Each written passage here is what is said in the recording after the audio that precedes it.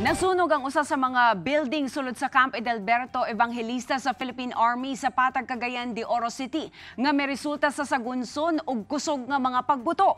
Ang maong insidente nahitabo pasado alas 12 kaganihang kadlawon.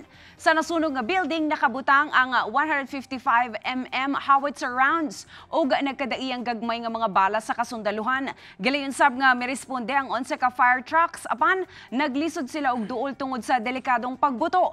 Walay naangol sa military personnel apan tulo ka mga sibilyan ang nakahiagom og samad tungod sa nanglagpot nga shrapnel. Dali sab silang gitam gitambalan sa Camp Evangelista Station Hospital. Gipabakwit sab ang mga personahe sa ilang fourth ID Gymnasium. Alas 3 G sa kadlawon gideklarang fire out ang maong sunog apan padayon pang ginasubay ang hinungdan sa maong insidente.